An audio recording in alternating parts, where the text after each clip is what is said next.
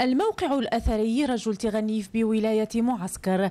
كان على موعد للبحث في أعماقه والكشف عن أسرار الكائنات التي عاشت في حقبة ما قبل التاريخ فيما يفوق المليون سنة.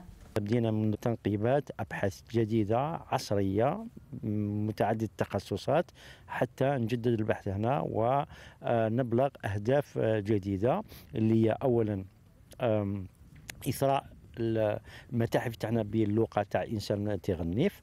وثانيا تأريخ الموقع. الهدف منها هو تشكيل البيئة القديمة لموقع تغنيف وكذلك علاقة إنسان ما قبل التاريخ اللي هو إنسان الانسان المنتصب أو أو ما يسمى باللغة اللاتينية بأومو إريكتوس ويعني علاقة هذا الإنسان والبيئة الذي كان يعيش فيها منذ حوالي مليون سنة.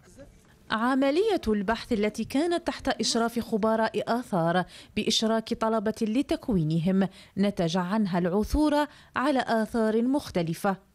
تعتبر فرصة ذهبية بالنسبة لنا أن نكون في موقع مثل موقع تغنيف أين نطلع على عديد من المعلومات المهمة في الجانب التطبيقي من خلال التعامل مع المواد المستخرجات الأثرية.